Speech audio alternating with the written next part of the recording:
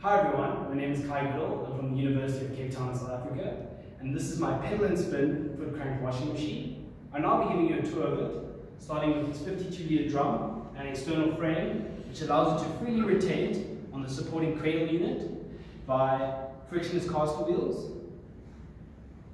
The user is able to crank the washing machine using two foot pedals by connecting rods and a cage setup on either side of the barrel the cage setup is easily removable using a wing nut on either side of the barrel in order to allow the user to take the barrel off the cradle setup in order to add clothes and washing. I will now be giving you a demo of the product.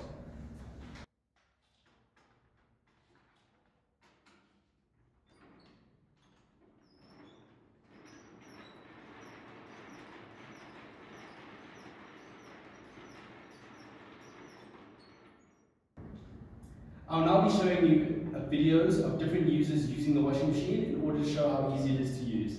Thank you.